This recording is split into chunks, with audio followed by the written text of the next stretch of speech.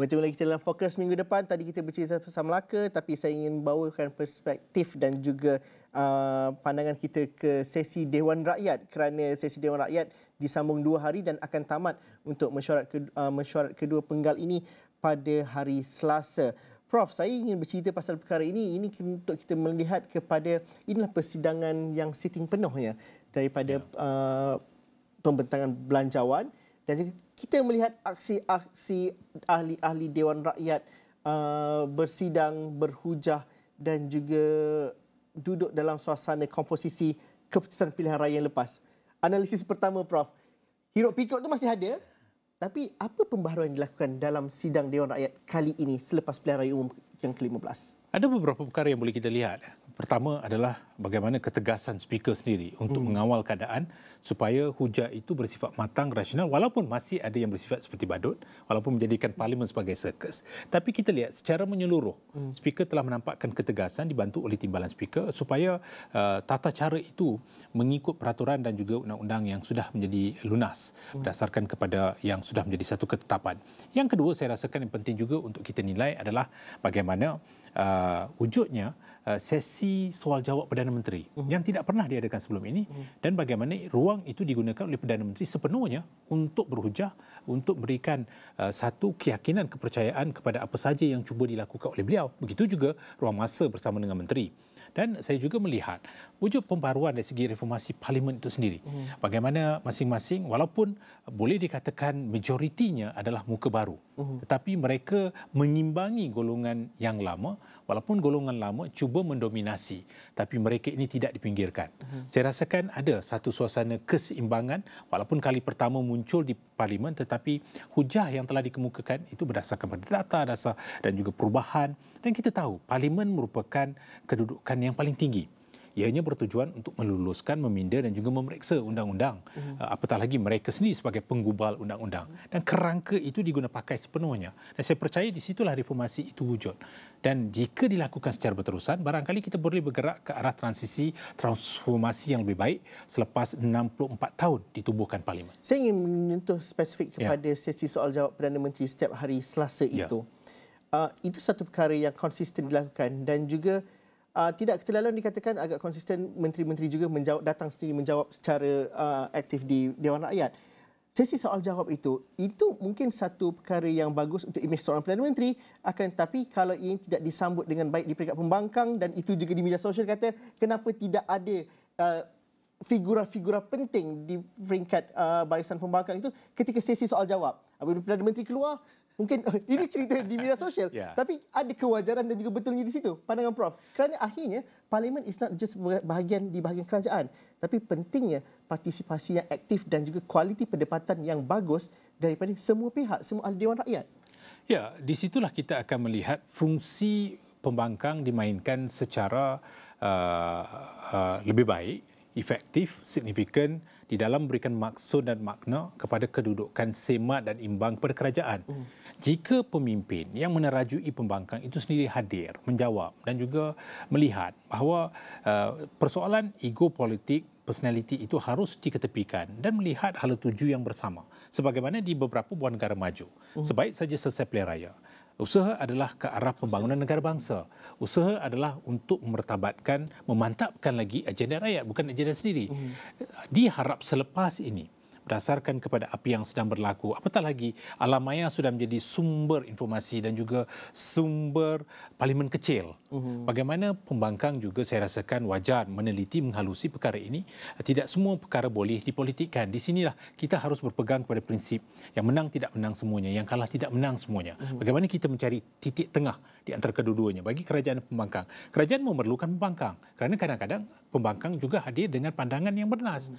Kerajaan pembangkang juga juga harus uh, mengiktiraf, menghormati uh, apa saja dasar yang baik diberikan supaya di situlah menampakkan kematangan bersama yang bersifat uh, ke arah uh, meningkatkan lagi kesedaran, penghayatan, pengisian kepada soal rakyat. Jadi di sini saya percaya yang diperlukan selepas ini adalah barangkali uh, pertemuan yang lebih bukan saja di peringkat jawatan kuasa uh, pilihan tetapi uh, pelbagai pertemuan harus dirangka ketepikan perbezaan politik. Tapi jika masing-masing boleh bersama dalam soal uh, kewarganegaraan, soal kerakyatan, soal kenegaraan, saya percaya kita mampu untuk membolosi perkara yang menjadi benteng pemisah selama ini. Adakah tempoh sehingga hari Selasa ini adalah mungkin masih lagi masa dan juga medan ujian bagi ahli-ahli parlimen bagi kedua belah pihak untuk mendapat keserasian dan juga mencari satu cara gerak kerja perdebatan yang lebih baik. Kerana uh, kita mengakui ada perkara-perkara baru yang dilakukan tapi ada yang masih lagi canggung, masih lagi ada ahli-ahli parlimen yang baru tapi tidaklah baru daripada segi usianya. Ya. Jadi bagaimana mereka perlu menggunakan peluang di masa-masa akan datang supaya kita lebih melihat kepada kualiti perdebatan dan juga buat kerja dengan lebih cepat. Kerana kalau dilihat kepada segi akta, banyak yang lagi masih lagi perlu dikerjakan dan juga memerlukan suatu informasi yang lebih segar, Prof. Ya, saya, saya percaya kepada perdebatan yang sihat memerlukan uh, soal bagaimana masing-masing meningkatkan pemahaman ke atas apa yang sedang berlaku. Uh-huh. Uh, tidak dipolitikkan tetapi uh, dilihat daripada bucu yang berbeza. Jika sekali isu dipolitikkan bermakna ia melewatkan lagi proses untuk mendapatkan kelulusan dan juga pewartaan uh-huh. ke atas sesuatu perkara. Jadi perdebatan itu penting dan bagaimana dalam tempoh masa yang ada walaupun hanya tinggal dua hari saya percaya tempoh masa yang ada itu masih boleh digunakan pakai untuk meningkatkan lagi tahap uh, reputasi kredibiliti ke atas seorang wakil rakyat bila dikatakan wakil rakyat wakil kepada rakyat ya. jadi bagaimana memegang amanah untuk tampil dalam dewan sebagai wakil yang mampu untuk menzahirkan kepercayaan itu dalam bentuk pelaksanaan. Begitu juga dalam bentuk sistem penyampaian. Diperlukan pembangkang dan kerajaan bersama dalam melihat sistem penyampaian yang baik.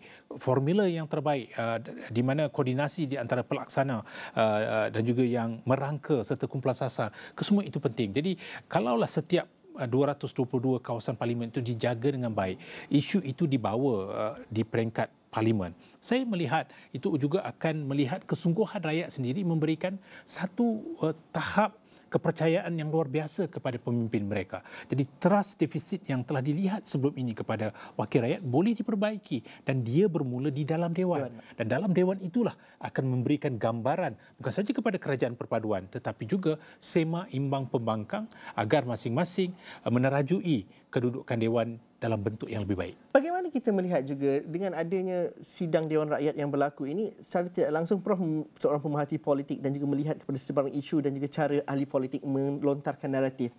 Banyak hal-hal yang berkaitan dengan politik juga diletakkan dan juga diletakkan dalam handset Dewan Rakyat pada ya. kali ini. Kerana itu didebatkan daripada kes mahkamah sehinggalah ke kes yang berbau politik yang begitu mencengkam. Dan ini satu perkara yang sedikit berbeza apabila banyak cerita politik di luar Dewan Rakyat. What apa yang bagus dan juga apa yang kita dapat lihat? Cara biar berpolitik tapi dalam konteks di Dewan Rakyat itu ianya dipegang dan juga dapat dilihat dan juga direkodkan. Bagaimana ini adalah satu langkah yang segar dan juga baik sebenarnya dalam konteks demokrasi sebenarnya? Ya dalam uh, kita melihat kematangan pendemokrasian negara kita sudah pasti apa saja yang dibincangkan itu jadikan sebagai asas rujukan kemudian nota kaki yang akan terus dijadikan sebagai sandaran di dalam kita memerihalkan sesuatu perkara. Bermakna dalam konteks ini seseorang pemimpin itu harus tahu dia tidak berada dalam kedudukan amalan konvensional yang lama. Uh-huh. Kini apabila mudah dirakam, mudah disiar secara langsung, diperhatikan perwatakan, kewibawaan mereka itu diuji. Uh-huh. Di situlah saya rasakan perwatakan itu harus menampak menampakkan kesungguhan ke arah mempertahankan kredibiliti mereka. Jadi uh, keberadaan mereka itu harus dipertahankan berdasarkan kepada rasa tanggungjawab bukan kepada parti semata-mata tetapi mampu untuk melondekan diri mereka sebagai pemimpin di peringkat nasional yang mewakili sesiapa saja tanpa melihat diri mereka sebagai wakil rakyat sesebuah parti. Mhm. Jika itulah yang diutamakan bermakna gagal untuk melihat pada isu-isu yang lain. Sebab itulah saya percaya proses ini adalah proses transisi. Mhm. Dan selepas ini barangkali kita akan melihat perdebatan yang lebih baik selepas mereka mengimbas apa yang telah berlaku dalam sidang ini, bagaimana perubahan harus dilakukan pada sidang akan datang. Perubahan-perubahan ini tidak akan dapat dilakukan melainkan mereka sendiri mengambil inisiatif. Dan di sini saya rasakan peranan sangat penting di antara speaker, timbalan speaker, ahli dewan, bagaimana bersifat saling lengkap melengkapi, bersifat resiprokal untuk kepentingan rakyat. Jika itulah yang menjadi sandaran, saya percaya kita akan bergerak ke arah reformasi parlimen yang lebih baik selepas 64 tahun. Kita dah melihat pelbagai wajah menghuni dewan itu. Ya. Dan sudah pasti pada masa akan datang kita akan melihat wajah yang lain. Jadi bagaimanakah pengalaman yang kini akan diberikan kepada yang lain dan juga menjadi satu penggerak kepada generasi akan datang mereka melihat, uh-huh. mereka memerhati dan juga barangkali mereka juga mahu menjadi wakil rakyat selepas ini. Jadi, apakah teladan contoh yang mahu diberikan menerusi perdebatan, menerusi isu yang dibawa dan bagaimana ada masanya boleh bersetuju dalam tidak bersetuju. Itulah pendirian yang saya rasakan perlu dilihat selepas ini kita juga memerhatikan dan juga tauladan itu kita lihat ada yang kita boleh elakkan daripada apa yang berlaku di Dewan Rakyat itu juga. Tapi terima kasih Prof ya. kerana bersama dengan kami. Dua benda kita ceritakan hari ini, apa yang berlaku di Melaka dan juga kita melihat dan analisis sebanyak recap apa yang berlaku sepanjang sesi Dewan Rakyat yang berlangsung di mana ia akan berakhir pada hari Selasa ini. Sekian saja fokus minggu depan. Teruskan bersama kami di platform digital kami astrawani.com dan juga dalam bulletin seterusnya. Assalamualaikum dan salam sejahtera. Thank you very much.